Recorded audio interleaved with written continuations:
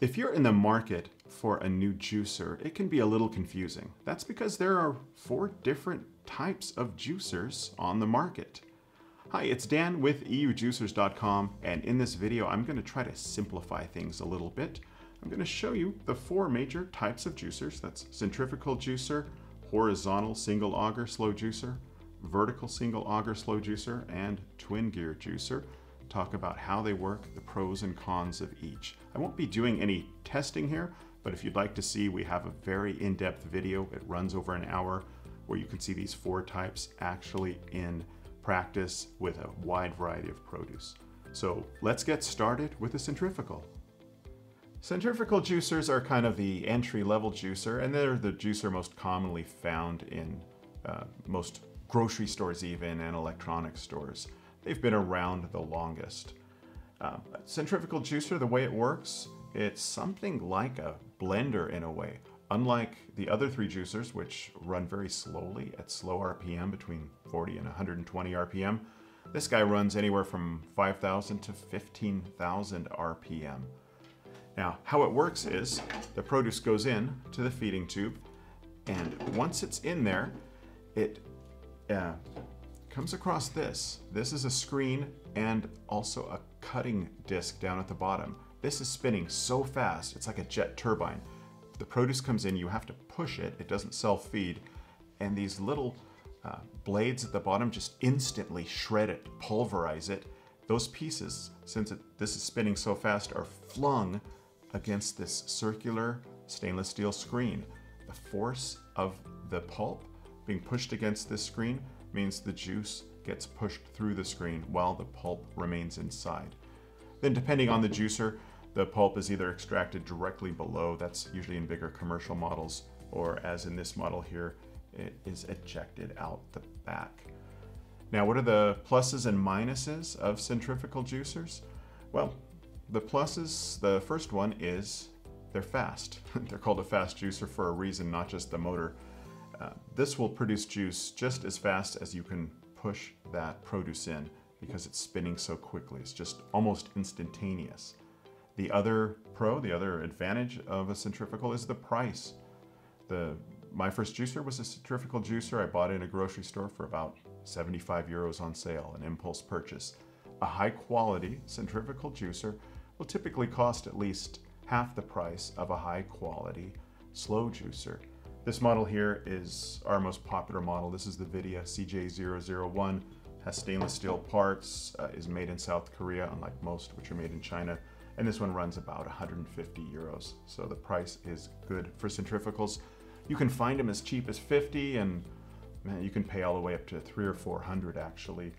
And typically buying a more expensive one might get you a commercial quality or features like variable speed, digital controls, uh, easier to clean screen, things like that. In terms of negatives, there are quite a few actually with centrifugals, and that's why slow juicers have become more popular. First of all, because it's running so fast, it's very loud. Centrifugals are really noisy. You can't have someone in the same room on a phone call or trying to watch a TV show. It's just not gonna work. Another disadvantage is they're a little more difficult to clean. That's because in all juicers, the most difficult part to clean is the screen, this part here, and centrifugals have one of the biggest screens and you have to go over this with a brush, otherwise they can get clogged up with things like carrots and things like that, and that will reduce the efficiency or even cause it to back up. Another disadvantage is uh, flexibility in terms of what you can juice with it. Uh, centrifugals are great for things with high liquid content, things like oranges, tangerines, uh, juicy fresh apples, even carrots do fine in a centrifugal. But things without uh, quite so much uh, juice content, like leafy greens especially, spinach, things like that, that's not going to really go. Um, I've tried spinach and different types of greens in uh, centrifugal and you get a little bit of juice and a whole bunch of really, really wet pulp, almost like some wet salad. So these really aren't suitable for things like that. Besides that, um, maybe the biggest disadvantage with the centrifugal is the quality of the juice. That's because it's running so fast that there's a lot of oxidation occurring. What that creates is a couple of things. First of all, it creates a whole bunch of foam on the top of your juice. Again, if you look at that video I referenced before, you'll see that. Um, besides the foam, the juice will separate fairly quickly. And you will see, like, for example, with carrot juice, a layer of very dark orange on the top and then almost clear water below. Same with apples. And the third thing is that high speed causes oxidation, which means the juice will kind of start turning brown fairly quickly compared to a slow juicer, uh, especially with things that would naturally oxidize, like apples when you slice them when exposed to air. So the way to get around that, two ways. First of all, consume the juice right away if you have a centrifugal juicer, or if you want to store it for a little bit, add a little bit of lemon or lime. The ascorbic acid will really slow down that oxidation process and keep the juice a little better quality. So overall, centrifugal juicer, it, it's a good entry-level juicer if you're willing to drink the juice right away and as long as you're sticking with juicy products. Next up is the horizontal single auger slow juicer. In this case, it's represented by a Sana 727 Supreme. And how this juicer works and all the other slow juicers, they work kind of similarly. And you'll notice they have a lot of similar uh, advantages as well. But how it works is produce is fed through the feeding tube and it goes here and there is an auger. Think of a rotating screw right here. Uh, imagine if you had a big piece of metal and you're drilling a screw in, but somehow you stuck in pieces of apple or oranges and that screw is pushing it down harder and harder. That's what's happening here. It's traveling horizontally. This auger has larger fins at the end to slice off pieces of carrot, apple, whatever you're juicing. And the, the fins get smaller and smaller. And what happens is it goes into this screen here. And as it goes into this screen, it crushes it and squeezes it under high pressure. And then the juice comes out through this little screen at the end. And the pulp just continues straight out through this pulp ejector. So they're pretty simple machines. They're one of the first uh, slow juicer types. Um, and they tend to be simple and durable. Advantages overall of a horizontal single auger slow juicer, well there's quite a few. First of all, the juice quality, which will be similar for all slow juicers, is very good because you're juicing at such a low speed. Typically a horizontal juicer runs around 70 RPM. This Sana 727 has a variable motor that can go from 40 to 120, but this really prevents any oxidation. One big advantage of horizontal juicers is they're very versatile. Almost all horizontal juicers come with something called a blank screen, and that's just like that juicing screen there, only without the screen part. It basically just allows things to be crushed and uh, ejected out here almost like a slow food processor. And that's used for doing things like um, nut butters, sorbets, pasta, almond milk. Depending on the juicer, they'll have different attachments, but it gives it that versatile food processor function. Some other advantages, the horizontals are, we find to be the best for leafy greens. They process uh, spinach, things like that. Probably the best, although all slow juicers will do a pretty decent job with it. Uh, beyond that, they are the easiest to clean of all the juicer types. That's because it has that very small uh, juicing screen. So brushing that is pretty fast. And they're also simple to assemble and disassemble, the simplest juicers out there. They also tend to be very durable because they're so simple, really. And in terms of negatives, well, there's not so many. Uh, compared to some of the other juicer types, the yield will be slightly lower with a horizontal compared to a vertical or a twin gear. Although in the case of this guy, the Sana 727, it's got some extra bells and whistles and we find the yield is about the same. But generally speaking, horizontal has a little lower yield. They also don't do quite as well on softer fruits, things like softer pineapple, berries, things like that. Something a vertical will do better on. But overall, that's how they work. Horizontal is a good juicer if you want something that's durable, something that's versatile especially, and if you juice a lot of hard root vegetables, they're really good at that as well. That is the horizontal single auger juicer. Maybe the most common slow juicer you'd see in shops now is the vertical single auger slow juicer. This one here is a Sana 828 slow juicer. And these work similar to how that horizontal juicer works, only, as the name implies, things are fed vertically instead of horizontally. And the auger and the screen look quite a bit different. Let me show them to you here. It's much shorter, but much bigger. And what we have here is this big auger, and notice it has two blades. This runs really slowly, about 43 RPM, but with each turn it takes two bites because it has these two blades. And say for example, uh, uh, an apple is sliced in here. It will take little pieces and it basically is just screwing it in, drilling it down into this screen here. And notice the screen gets smaller as it gets near the bottom. So that's increasing the pressure.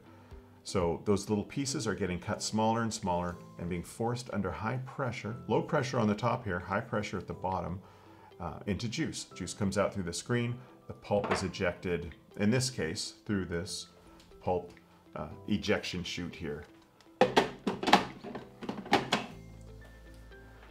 So they're versatile machines, but not so versatile as a horizontal juicer.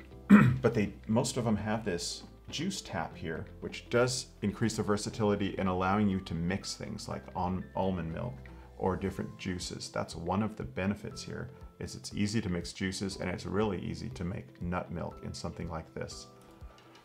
Another advantage is it does tend to have a higher yield than horizontal juicers for the most part. And the juice quality, as with all slow juicers, is really good, really um, high quality. They're one of the easiest juicers to use and almost self-feeding depending on what you're putting in there because the gravity is pulling things down into here. Sometimes you'll need to use the pusher, but not all the time.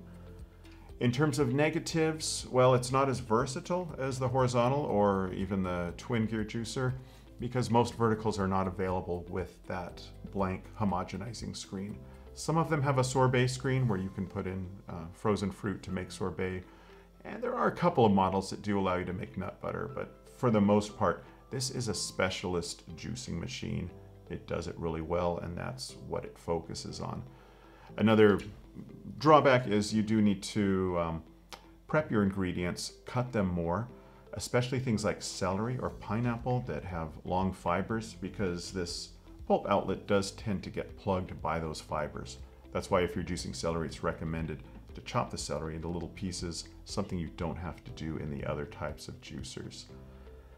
And one other thing to keep in mind is the motors do tend to jam with hard root vegetables, beets and carrots, things like that. So you'll want to, again, slice those and feed them slowly something uh, that won't happen in a horizontal. Those won't jam with hard root vegetables. But if you're looking for a juicer that gives high yield, good quality juice, you don't care about those other homogenizing functions, and you just want something pretty easy, this is a very good choice, the single auger vertical juicer. And the final juicer type is the twin gear juicer. And this is represented here by the Angel juicer. This is really a niche product um, not nearly so common as the uh, single auger slow juicers. And there's just a few manufacturers. Angel and uh, Tribest makes the Greenstar Elite, Greenstar Elite Pro. There's also a small uh, compact versions of twin gears from uh, Vidia and Omega as well. So twin gear juicers operate a little differently than those single gear juicers. I want to show you why. Uh, if you take a look here, you have these two counter-rotating augers. And what this means is produce is fed through this tube and you have to push pretty hard with a lot of things because the tolerances here are really fine, almost microscopic. They're so close together. But what that means is that the produce will be cut and crushed in the smallest possible pieces. And then what happens is those tiny little pieces are fed down, these fully stainless steel augers in the case of the Angel, and down through this uh, juicing chamber, which you see is getting smaller as with the other juicers, increasing pressure and making the juice come out. You'll notice the juicing screen here is very big, very long, that has its pluses and minuses as well. So speaking of pluses and minuses, the biggest plus of the twin gear juicers is the yield. Twin gears will get a lot more yield than any other type of juicer. That's because of those counter rotating augers. They're crushing it so fine and because that juicing screen is so big as well. Typically in our test, we'll see anywhere from 20 to 30% more depending on the type of produce juice yield compared to a single auger. Um, the other benefit of this would be uh, a really low amount of pulp, really high juice quality, and in the case of something like the Angel, this is the only one on the market at this point that is all stainless steel. Some people want to completely avoid plastics. The Greenstar is mostly stainless steel as well, uses a stainless steel augers. So that's something that some people really prefer to have. In terms of negatives, well, the biggest would be the price. something like this will cost as much as two or three of the other slow juicers. Uh, an Angel will run anywhere from 1200 euros up to 1500 euros. Greenstar Elite's uh, quite a bit less than that, but still much more than other juicers. And the only other disadvantage, uh, cleaning, as you saw with that juicing screen, it's so big here, there's a lot of little corners to clean with a brush. So this is something for the hardcore juicing enthusiast, someone who wants a high yield, doesn't mind giving it the care and love that the specialized machine like this needs to keep it clean to make sure it's operating well. But if you absolutely want the most yield, and in the case of the Angel, you absolutely want no contact with plastic, that is the way to go. And that's a look at the four main juicer types. I hope you enjoyed this video. If you have any questions or comments, please leave them below. I read all of those and I respond to all of those, and I appreciate getting those. Thanks for watching. I'll see you next time. I'm Dan with eujuicers.com.